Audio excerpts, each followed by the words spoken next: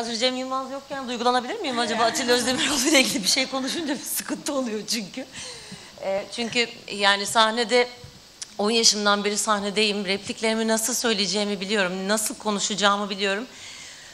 İyi müzisyen e, kardeşimdir. İyi çalıştım. Şarkı söyleyebiliyorum ama ödül konuşmalarını beceremiyorum.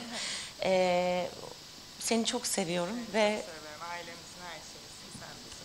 Çok seviyorum.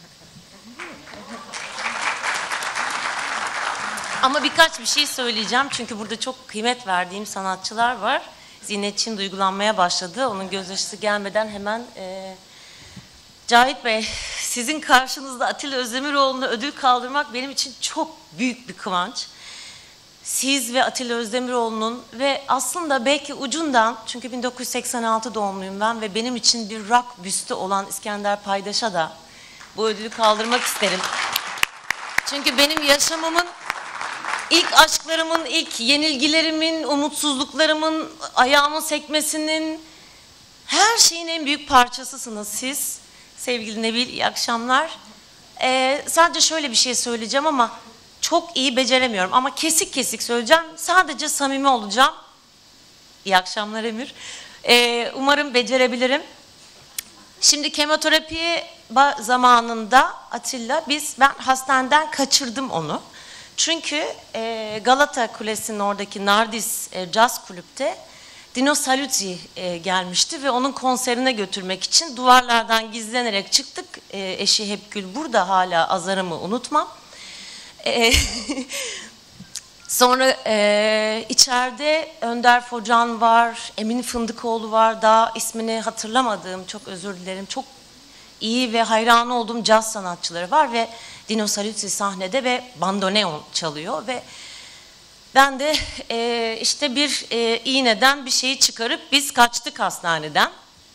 E, ve sevgili Dino Saluzzi sahnede bandoneon çalıp çok etkileyici bir konserden sonra kaldığı yerden devam eden 50 yıllık dostuymuş gibi Atilla'nın yanına yürüdü ve bir anda Emin Bey, Önder Focan falan masa doldu ve orada işte şöyle yaptın, böyle yaptın ve İngilizce, Türkçe karışık yani inanılmaz sohbet ediyorlar.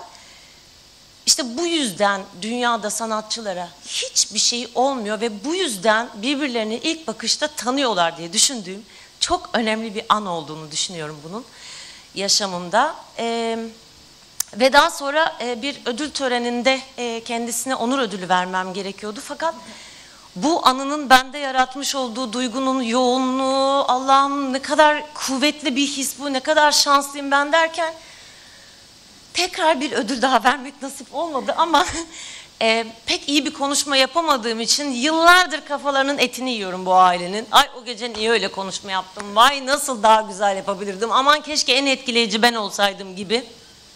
Fakat bazen hayat böyle biz planlar yaparken başımıza gelenler oluyor maalesef. Ee, sözü fazla uzatmadan. Yo yo biz daldık zaten. Tamam Ceyhun. Teşekkürler susacağım. Estağfurullah. Şöyle bir yere bağlamak isterim. Burada muhteşem bir adam var. Burada muhteşem müzisyenlerimiz var, büyüklerimiz. Burada da harika bir piyano varken aklıma şöyle bir örnek e, vermek geldi. Çok sevdiğim bir fotoğraf var. Türk pop müziğinin, kendisi Türk pop müziği, Türk tiyatro müziği, Türk sinemasına çok büyük eserler kazandırmış bir aranjör, müzisyen, bir meraklı işin aslı. Her şey zaten öyle başlıyor. Şöyle bir piyanonun etrafında Onlu Tunç piyanoyu çalmakta, Atilla Özdemiroğlu'nun elinde keman, elinde sayfalar olan Aysel Gürel ve bugün Aysel Gürel'in doğum günü. Ee, ve ellerini diyaframına koymuş Sezen Aksu. Birlikte bir şeyler çalışırlar ve bu fotoğraf benim hayatımın en özel fotoğrafıdır. O fotoğraftan sadece bir tane çok kıymetli bir şey var hala yaşayan. Bu ödülümü sevgili Sezen Aksu için alıyorum.